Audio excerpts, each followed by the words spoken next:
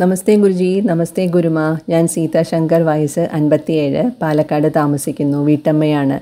രണ്ടര വർഷമായി ഞാനും എന്റെ ഭർത്താവ് ശങ്കറും തസ്മയ കുടുംബാംഗങ്ങളായിട്ട് എന്റെ അനിയത്തി സ്മിതയിലൂടെയാണ് ഇവിടെ എത്തിച്ചേർന്നത്. ആത്മീയ പാതയിൽ എത്തിച്ചേരുന്നത് ഒരു വ്യക്തിയുടെ ജീവിതത്തിലെ ഏറ്റവും നല്ല സമയത്താണ് എന്ന് വിശ്വസിക്കുന്നു. ഒന്നിനെയും വേദനിപ്പിക്കാതെ സകല ചരാചരങ്ങളെയും സ്നേഹിച്ച് പ്രപഞ്ചഹിതമനുസരിച്ച് ഗുരുതത്വത്തിലൂടെ ജീവിക്കുമ്പോഴുള്ള ശാന്തിയും സമാധാനവും അനുഭവിച്ചറിയുക തന്നെ വേണം. ഗുരുജിയുടെ ശാസനകളിലൂടെ നിഷ്ഠകളിലൂടെ ജീവിതത്തെ ക്രമപ്പെടുത്തുമ്പോൾ പ്രപഞ്ചത്തിന്റെ കരുതലും അനുഗ്രഹവും അനുഭവിച്ചറിയുവാൻ സാധിക്കുന്നു. ശാരീരികമായ മാറ്റങ്ങളാണ് ഞാൻ എസ് എം എസ് മെഡിറ്റേഷനിലൂടെ അനുഭവിച്ചറിഞ്ഞുകൊണ്ടിരിക്കുന്നത്.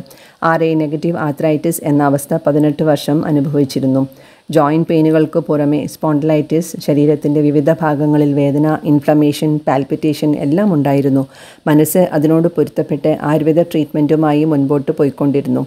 രണ്ടായിരത്തി ഇരുപത്തി ഒന്ന് ഡിസംബർ പതിനെട്ടിനാണ് എസ് എം എസ് മെഡിറ്റേഷൻ ആരംഭിച്ചത്. അന്നു മുതൽ ട്രീറ്റ്മെന്റ് നടന്നുകൊണ്ടിരിക്കുന്നു. ഏറെ മാറ്റങ്ങൾ സംഭവിച്ചു. അതിലൂടെ ജീവിതത്തിന്റെ ക്വാളിറ്റിയാണ് എനിക്ക് തിരിച്ചു കിട്ടിയത്.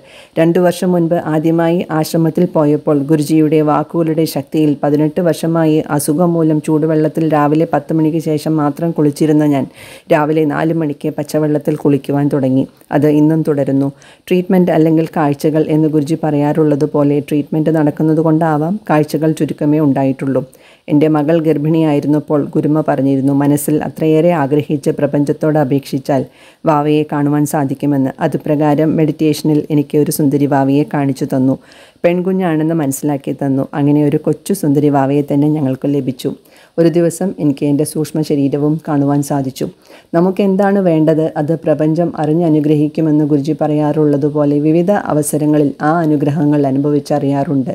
ബന്ധങ്ങൾക്കും കർമ്മങ്ങൾക്കും ഉള്ളിലുള്ള കർത്തവ്യങ്ങൾ സത്യത്തിലും ധർമ്മത്തിലും അധിഷ്ഠിതമായി നിർവഹിക്കുവാൻ സാധിക്കണേ എന്ന് പ്രപഞ്ചത്തോട് പ്രാർത്ഥിക്കുന്നു.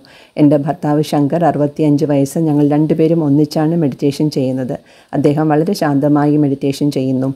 ഞങ്ങളുടെ മകളും ഭർത്താവും മെഡിറ്റേഷനിലേക്ക് വന്നിട്ടില്ല എന്നൊരു സങ്കടം മാത്രം ഞങ്ങൾക്കുണ്ട്. അവർക്ക് എന്നെങ്കിലും തിരിച്ചറിവിനുള്ള ഭാഗ്യം ഉണ്ടാവണേ എന്ന് ഉള്ളിന്റെ ഉള്ളിൽ നിന്നും പ്രാർത്ഥിക്കാറുണ്ട്. ഇത്രയും പവർഫുള്ളായ എസ് എം എസ് മെഡിറ്റേഷനിൽ തുടരുവാനും ഗുരുജിയെപ്പോലൊരു ഗുരുവിന്റെ ഗൈഡൻസ് ലഭിക്കുവാനും ആത്മീയയാത്രയിൽ പ്രപഞ്ചത്തിന്റെയും ഗുരുജിയുടെയും അനുഗ്രഹങ്ങൾക്കായി ശിരസ് നമിക്കുന്നു.